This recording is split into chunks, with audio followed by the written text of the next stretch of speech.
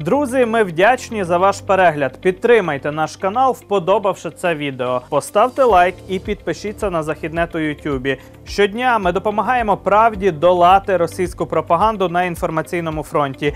І саме тому нас має бути більше. До 100 тисяч залишилося зовсім небагато. Підпишіться, переможемо разом.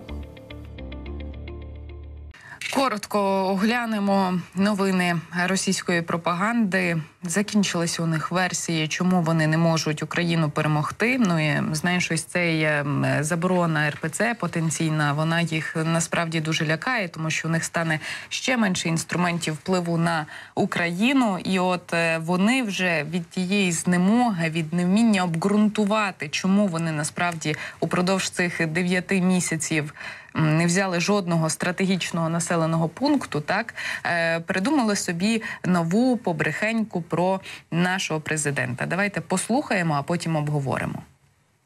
Надо акценты ставить конкретно и э, не стесняться. Я думаю, православная церковь должна провозгласить Зеленского как официально приход Антихриста. Официального Антихриста.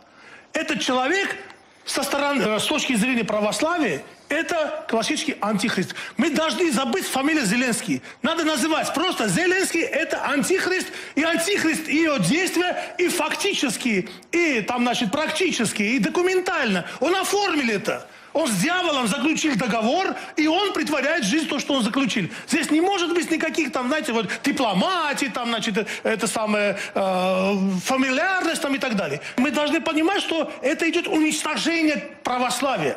Уничтожение, искоренение. Э, Арайк, я с вами не соглашусь. Слишком вы льстите Зеленскому, называя его антихристом. Он такой, знаете, маленький чертеночек, но не более того.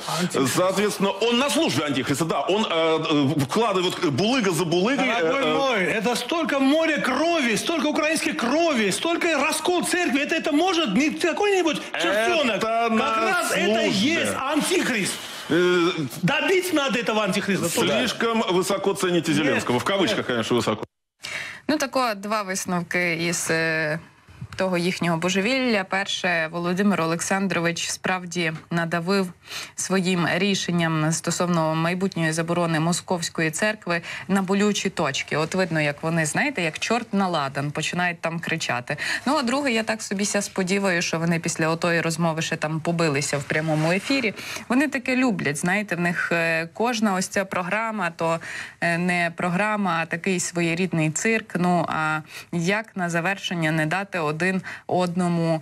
е, Синець не поставити десь під оком. Але допоки російські пропагандисти не можуть ніяк відчепитися від України, і вони щось там обговорюють Україну і не знаю, розповідають, як нам треба жити. Ми їх, звісно, не слухаємо, просто завертаємо очі на всі їхні поради.